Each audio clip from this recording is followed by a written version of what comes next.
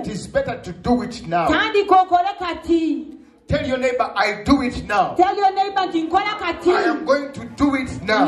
kukikola kati Sinja, not tomorrow the greatest thief of opportunity. Eh, Eki- e- eh. ekikyasinza eh, okunyaga emikisa oh, the, the greatest deal of opportunity is postponement procrastination. Okubeera nga twongezaayo nja kikola saying enkya i will do it tomorrow. Kasita nkyali muto because i'm young. Kasita nkyali ah good i'm still young. Kanjira nzina? Let me go kanjira enjoy tunyumirwa? Let me go party. Leka nkubulya ebiseera bigenda kutuuka time is going to come. Ng'oli ku pressure ya time. While you're, pressurized by the time. Ng'obudde buyise. The time is past. Oba kugamba nti wekiba kyetagisa kusaba. If it is to pray. Wanika emikono gyo mu bbanga buli kanaku lift up your hands every day. Ogambe mukama katonda nyamba leke kuyitwako budde god help me that i will not miss out on any time. There is nothing more painful than being late. tewali kintu kiruma ng'omuntu akereye